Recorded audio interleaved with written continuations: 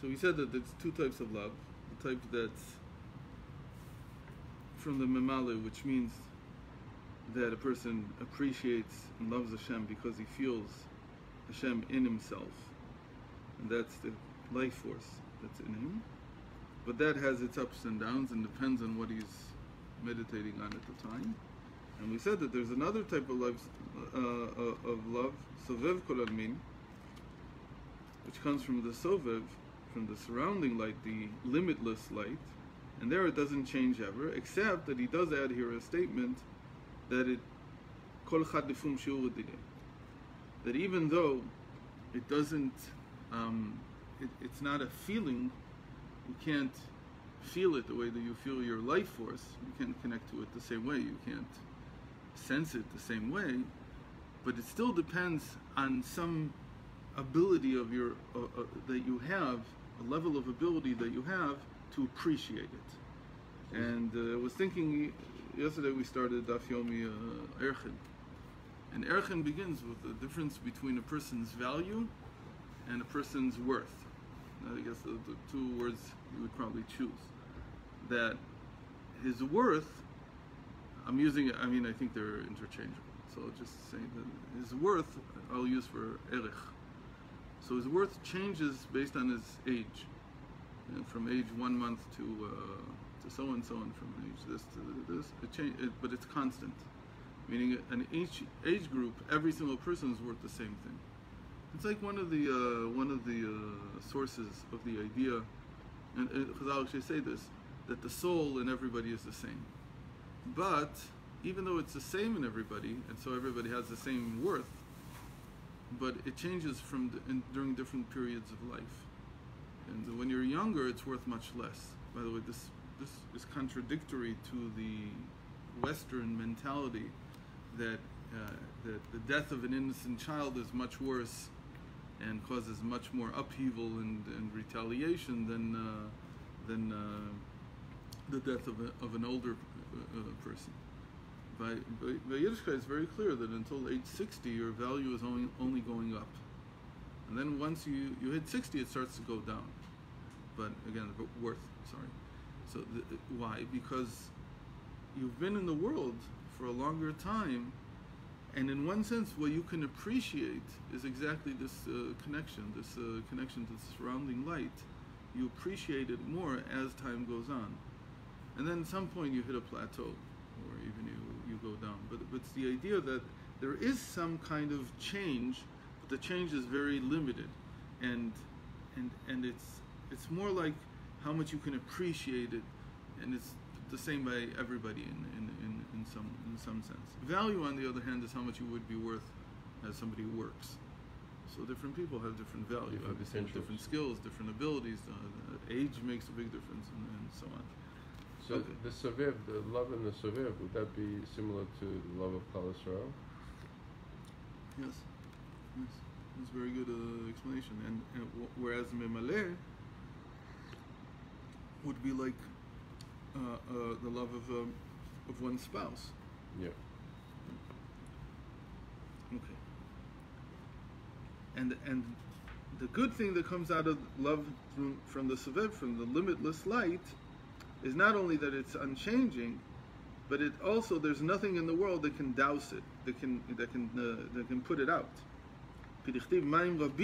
So after the parentheses, somewhere towards the bottom, there's a long parentheses um, on one line. Starts the line starts with ofen, mishum ofen.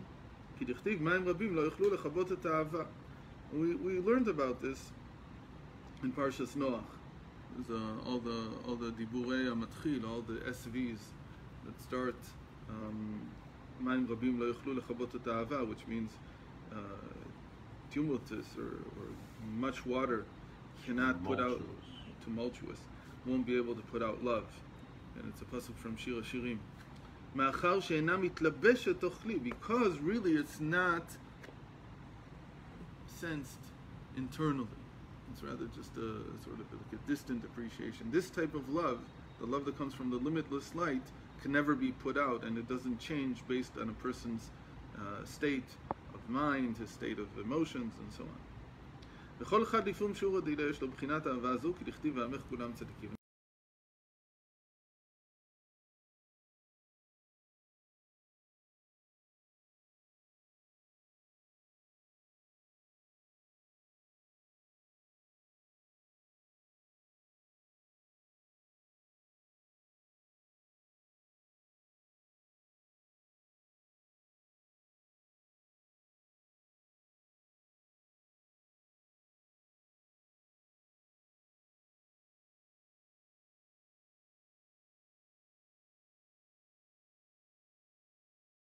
is that this love is always uh, uh, uh, uh, can always be sensed in essence.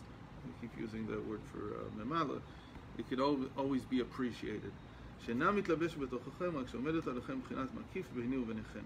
the idea is that it's standing like surround, like something surrounding the person, between the person and Hashem. It's like a sign of the covenant between them.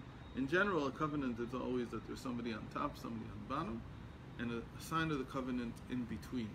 That's So- the way it's done. So you're far enough away from it not to be confronted by the nuance, Correct. and therefore it's a, it's a global appreciation uh, Mm. which is not affected by minutia. Yesterday, I had somebody that I was talking to, and um, he had an older, older individual, and he, has some trouble with his, with his father. So, With his father? yeah, his father's even an, even older. Wow. How- I, how- I would have thought at that age it wouldn't be a problem. So it's all the same. It's always the same. So we talked about the fact that that parents see children both as soviv and memale, meaning the parents are able to see both the value and the worth of their children, whereas the person himself is very hard, is very challenged to see his worth. Will only see his value. So. Um, this case was his, his father invited him to go with him to a business meeting. And he took it as, well, you certainly brought me along so that I would contribute.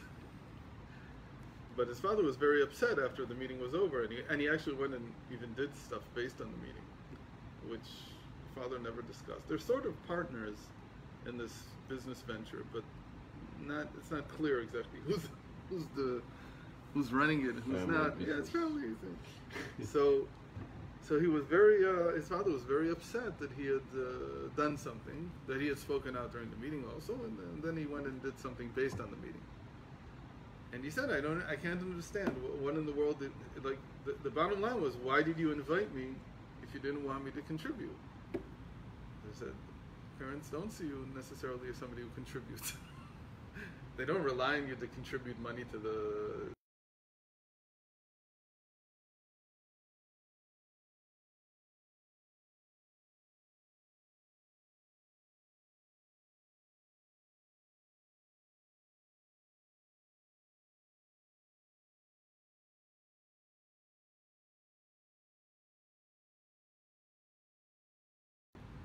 But there's no value here. We're not looking for value, at least when it's rectified. It's actually a sign that it's rectified. But the person sees his value. He sees, what am I worth? what, what's my value? So if you invited me to something, it's certainly so that I would use my talents, my abilities. You know, I maybe he invited you just because he wanted you next to him. Like, in a certain sense, that's seeing the worth of something. And just saying, having you near me or having you sit next to me, that's enough for me. I, I didn't expect you to say anything. I just expect, like, I see that value. And you know what? Other people do too. But the person himself is hard pressed to see his value. He'll only see his objective worth. Because we're also very subjective. So we look at ourselves from the point of view of of, uh, of what talents do we have? What do we? What do? What's our value? That's how we measure ourselves. But parents, especially, will see us as objective creatures that they're very connected to. They'll never want to sever that connection, but they don't necessarily look at the value. They don't necessarily look at you know what are you good for. Again, if they're very rectified, it could be that they're not rectified, and then uh, then they, they don't see that. They, they only say, you know, hey, I gave you food till age six. Get out of here and get go take care of yourself. That's enough for me. but uh, most parents, especially Jewish parents, don't have that. They, they see the, the worth throughout life. So it, I, it, yesterday it helped him a lot to, to, to think of his father. And that he doesn't have children that are old enough, actually. But I think once you once you have children that are old enough, and they begin to they begin to leachzev. How do you say leachzev? They begin to, Yaakov, how do you say leachzev? Disappoint. To disappoint you. So you search in yourself and you say, where's where's the connection really? And you, and you come to the conclusion my connection to them is not predicated on on how much they do or don't do. My connection to them is, is limitless. So, It's it's it's erchi.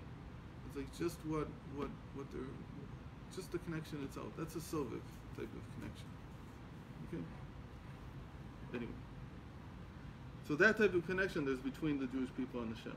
וזהו שאמרו חז"ל, קראו אותו יתברך בשם הקדוש ברוך הוא, ולא בשאר שמות וכינויים כגון רחום. So why in the end, there's, there's many names that you could call Hashem. Why do you why do you choose Kadosh? Kadosh Baruch Hu. Baruch Hu is just a, an addition. But the, the, the adjective is Kadosh. He's holy. Why don't you say that he's merciful? We have 13 adjectives you can use. At least 13. In fact, you probably find 100 if you really wanted to.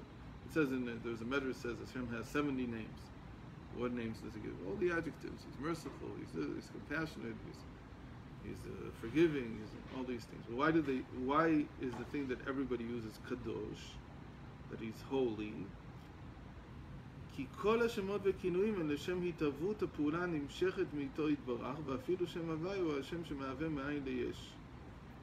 All the different adjectives that you can think of, except for holy, even Hashem's name as an action. Hashem's name, Yud Vav Kei, also means a word. It means to bring into being. So he's the creator. What they call the Bashefel in Yiddish. So some people, like in Chabad, they say Eivishter. And, and most of most of the other Hasidim actually say Bashefel. Bashefel means a creator. And that's how you call him in English also. by creating meaning a prime mover in that concept, in that context. The one who brought the world into being. Creator. So all these adjectives, they're really memali. They're really talking about how he brings himself into reality okay, and is affected by reality. That's the main thing. That's what we talked about yesterday and the day before.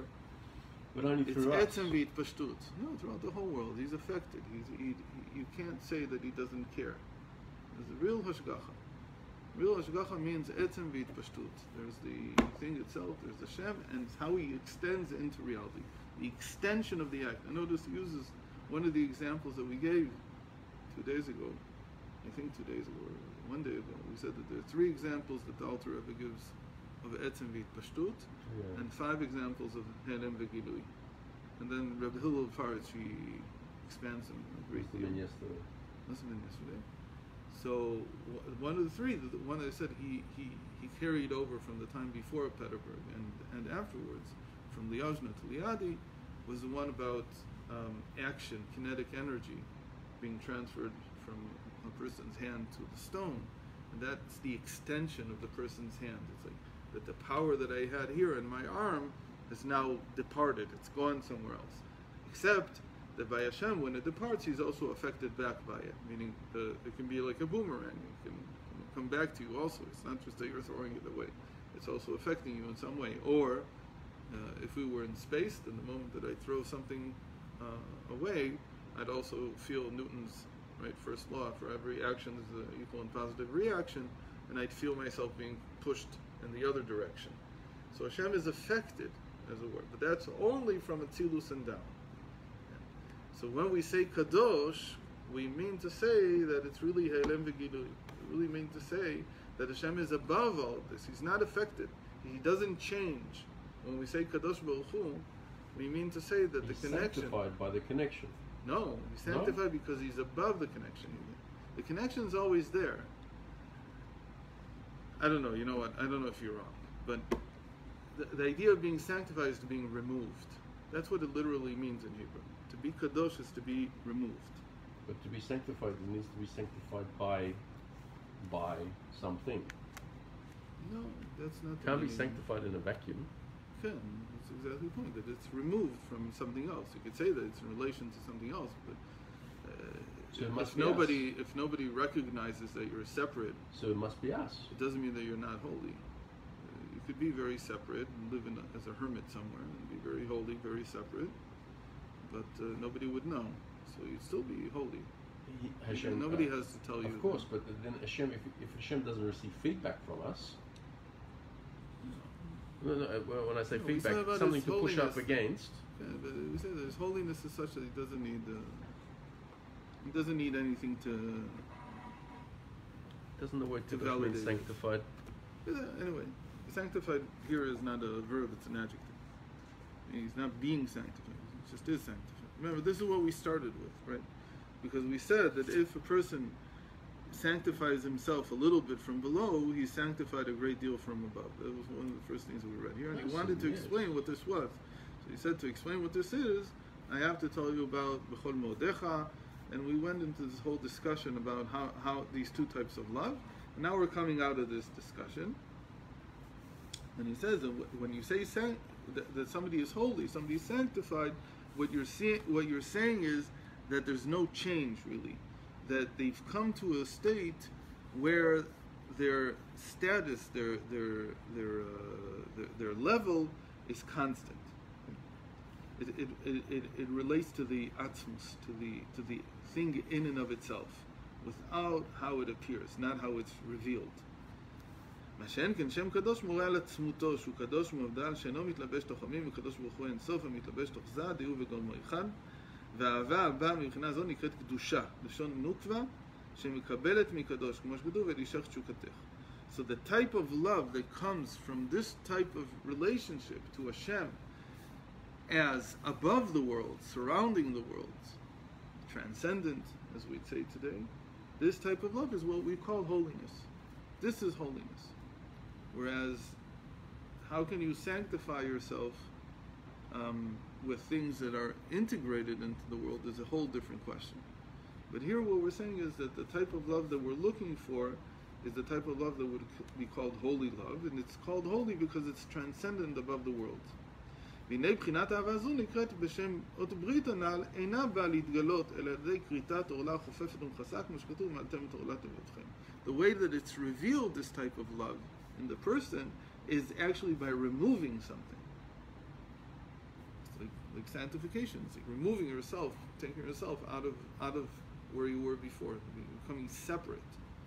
So the, the, the holiness here is revealed through circumcision. Circumcision is a symbol of something being removed. When you remove it, what you're saying is really that I'm not going to be immersed, only immersed within my world, reality. yeah. Okay.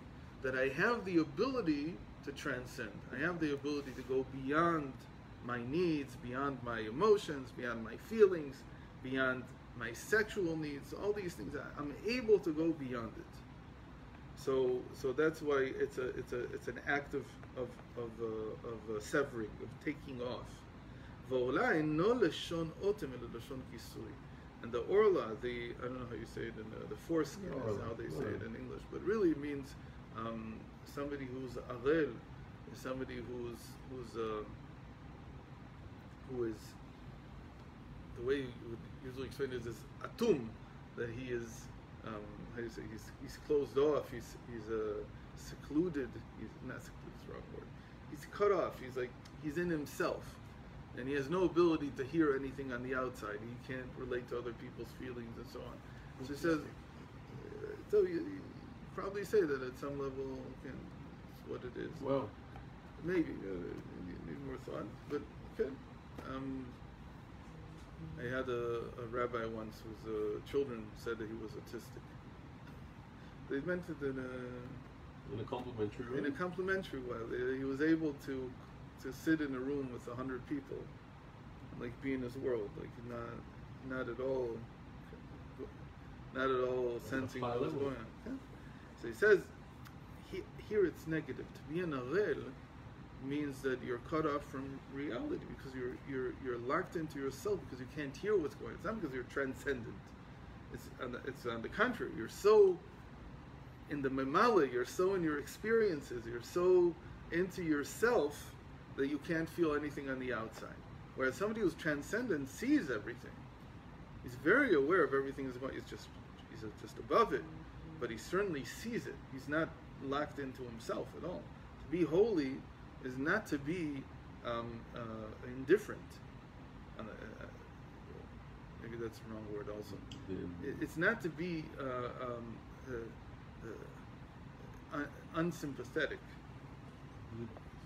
uh, un- unsympathetic, obli- oblivious to things. You, you, you know exactly what's going on, and you can even sense the pain and, and, the, and the joy and whatever other people have.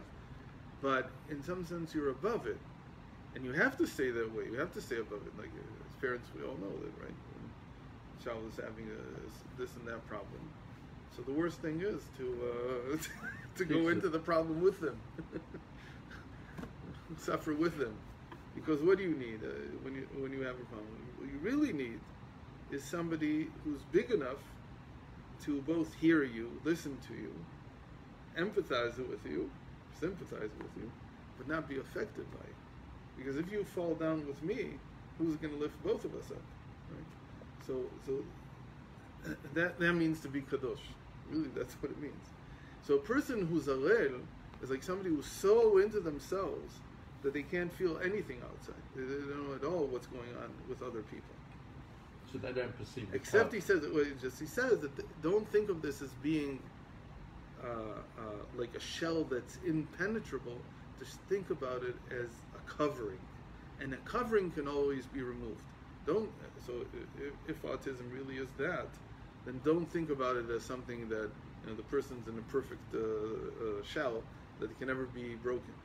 No, there's a way to remove that uh, that covering. It's only a covering. That's what he wants to say. Yeah. So So- Moshe Rabbeinu called himself Arel Sfatayim. right. That he. It's very interesting because he couldn't bring it out. There was a covering on his on his uh, on his on his lips. And where did that covering come from? Why was he uh, unable to express himself? We know. Right? With the cold. How do, yeah, how do Chazal explain it? It's very psychological. They say he, he was asked a question, or not really asked, but He was given a given a choice, and when he was about to choose, what happened was wrong choice. no, it was the right choice, no, no, like and something caused him. So we say like a, an angel. an angel. What we would say today is maybe it is an angel, but it manifested in the person as an inability to to express his choice, and instead it became something that hurt him. So now it's like a trauma. Every time that you come to express yourself, the thing that happens is that you feel pain. So, and he felt where did he feel the pain in, in his lips? But he was healed of that. Or he, So eventually Hashem healed it, healed him from it. But, but he thought it, he thought initially that he couldn't express himself. There was no way that he would ever be able to express himself. Again, he had the the, the Chazal when they we don't know. The Torah doesn't say that uh, this is what happened. Again, but Chazal are telling us this is one of the ways that it can happen. That you experience the trauma as a little child of trying to express yourself and being cut off. Like I'm giving that to, to my uh, eight-year-old now all the time. I don't put coals on his uh, on his uh, on his chas v'shalom, on his lips, but he has a tremendous voice, and every once in a while I forget I'm not supposed to say anything. Him, but I tell him stop yelling, and and I see as he gets older, he's he's he, it, it affects him more and more. Like he used to be when he was young, he would just uh, sort of ignore it. But now as he gets older, and, and my wife keeps telling me, look at what you're doing. You're, like you're not, you can't say this to him. So I work on it really hard. Maybe I'd say it once a day now, but it's a lot. It's a lot to say to somebody. Look, you're yelling. It's his voice. He doesn't. He doesn't know how to speak differently. Uh, so you can't say stop talking. You have to say talk more quietly. But even that's a little bit of a of a slap. It- it- You have to be very careful with these things, not to stop somebody's expression. Anyway, my fault.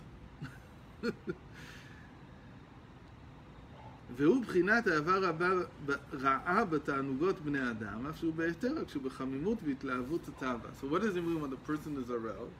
That he has an orla? It means that he's too engrossed in his own cravings. So really, the Rambam said, unfortunately the Rambam never finished the sentence. Everybody knows now. The Rambam says in Moreh HaNevuchim that why do we circumcise? In order to decrease the pleasure from sex. Okay? That's what he writes. It's true. It's, it's known to be true. Because Really? when you remove the foreskin, you remove a lot of nerve endings with it. I don't know why it doesn't hurt more than it hurts when, when you do it, but um, apparently it without the foreskins a lot less. No, sorry, you don't remove the nerve endings. The nerve endings are on the on the male member, and the the foreskin causes more uh, friction, so it actually increases the enjoyment from uh, intercourse. What the Rambam didn't finish, I don't know why, is the end of the sentence. Why do we do that? Why do why do you do that? Because you want the person to be more sensitive to his wife. Because if you're entirely engrossed just in yourself, there's no ability to take care of her needs. You're, you're, if, if, if you have that uh, uh, amount of, of, of, of self of self involvement while you're with your wife, then you can't even think about what she needs. So we decrease it. Not because we don't want you to have enjoyment. Have as much pleasure as you want. It's mutar. But because there's two people here, we don't tell a person, look, because there's also in the mouth, when you eat. So there's a lot of taste buds. We don't go and we burn half of them off because we say, ah, you shouldn't enjoy this world. Of course not. It's nonsense. Because nobody else is enjoying the food except for you. So we don't we have no such need. But when it comes to again, this is all in terms of trying to understand what the Rambam said. We decrease the pleasure because we want you to be more aware of your surroundings, to be more aware of your spouse. And if it wasn't that way, then then then you would be entirely an arel, you would be entirely covered only in yourself. This is called this is what's called by by the by Lavan that that tufim lelavan that that tuma in the end is a person engrossed in themselves. Tuma comes from the word atum, which is really to be closed off in a shell. That there is a perfect shell there, and he doesn't feel and doesn't sense anything that's on the outside. So if that's your state, so you actually you heat yourself up. You you you only need yourself. You don't need anybody else. In the end, you'll understand that you don't even need a spouse. What do I need? But what we're trying to do here is to tell you that there's no greater act than actually giving pleasure to another human being, and that, that's the main thing. Mm-hmm. It's a- Baruch Hashem, you also get pleasure from when you give tzedakah. You also get pleasure. But the greatness of it is that is that you're you're giving to somebody else. וזהו שכתוב יגיע כפיך כי תאכל. כלומר שהכפיים יגעים או הרגליים ושארי האיברים החיצוניים ולא לב. So this is also is is done in in, in a, it means a very positive thing that when you work it should also be the same way. Meaning don't just take pleasure in your work, but look at the acts that you're doing is how they affect the world and not necessarily how they cause you to be happy with what it's not it's not about the satisfaction. And it's saying that when a person's mind and heart are in his work what they're looking for is a satisfaction in the work. And and by Chassidus there's this whole idea that in in in in our mundane acts they should be a little hollow meaning that I'm not fully present inside them I'm not because I'm not looking for the satisfaction that they'll bring. I'm doing it because it needs to be done. Because I need to make a parnasa. But not because this is uh, this is where my, where I'm engrossed. That's a, a lot of people don't understand. The, the Rebbe, uh, Alter Rebbe said this is the source. Alter Rebbe said that when you when you work, you shouldn't put your mind into it. Just be the work, the labor of your hands. So a lot of people say, well, "What do you mean? How, how do you do that? Can I be an accountant and not put my head into it?" How can how can you do it without your head? Yeah, you can. How? Because work is work, and what's not was not work. I think what the Rebbe was talking about is taking your work into your private life. And if you need to, What, what happens if you have an account and you're an accountant and it's a huge account and you can't you can't put the you can't let them down. There's a due date for the filing and whatever. And what can you do? It's now going to take you know uh, two nights that you're going to be away from home because that's what you have to do. So you can't do that. He says no, of course you can do that. It's not the amount of time. It's to be engrossed means to search for satisfaction in it. That's really what it means. To be engrossed is to be a tomb. They say there's nothing in the world except for this. It's true that sometimes it'll it'll it, it can it can it can impact your your your your family life if you're a tomb. But the point here isn't that, isn't that. The point is don't take satisfaction from it. Take satisfaction from other places. Your satisfaction should be from something else. For instance, uh, we, we hold that the word satisfaction is about as idolatrous as there is. But let's say that there's okay satisfactions. For instance, a person gives tzedakah. So he takes satisfaction from tzedakah. But to take satisfaction from my accomplishments, from my work, is to miss the point. You should leave that, that inner sense of involvement, of engrossment, of inner pleasure for, thing, for other things. Learning. Okay. Even those who are of cold nature, meaning they don't easily get excited by what they do. And they're called Yoshvei Ohalim, people who learn Torah. Because to learn Torah, you have to be a Marash You have to have you have to have uh, what they used to call, uh, no, what's the word? I forgot. Melancholy. Why do you have to have melancholy? Because melancholy, or, yeah, actually, the old word used to be cynical but they stopped using it because cynical became something negative, mamish negative. But cynic, cynical is basically cynics in uh, in uh, Yaakov already left. I have to go catch up with him. Uh, Cynics, just finished with this. The cynics in ancient Rome were people who who gave up on, on pl- the pleasures of life. And really, they were very holy in that sense that they said they were cynical about life, meaning they said all of life, all the pleasures you can get out of life, they're really like a dog's uh, upchuck. That's why it's called cynicism because it comes from from the word canine. That's what they compared life to. They didn't compare all of life because they felt that the, the, the, the real worth of life was uh, was learning, was philosophy. They were very spiritual people. And he said all these pleasures in Rome, they came at the height of Rome, like when Rome was the richest. And they saw, the, Debauchery. they saw the decadence, and they, they were disgusted by this. It makes us throw up. It's, it's disgusting, this whole thing. So they, they, they receded into cynicism, which really meant that they receded into philosophy. One of the main cynics was Marcus Aurelius, which is why I told you once that I think he's my main contender for who uh, Rebbe's Antoninus was. He's one of the possibilities. His name wasn't just Marcus Aurelius; it was Marcus Antoninus Antonio. Da, da, da, da, he had uh, seven names. Every time they moved up, they got another name. So anyway, so that that's really a person who's cold by nature. He's he's melancholy. He's cold. Melancholy people are cold. They have cold skin. That's how they used to describe it. The idea was that he's not impressed by nature. He's not impressed by by pleasure. It doesn't give him. The only pleasure he really feels is when he learns. So now he's going to talk about these people. Shkoyach.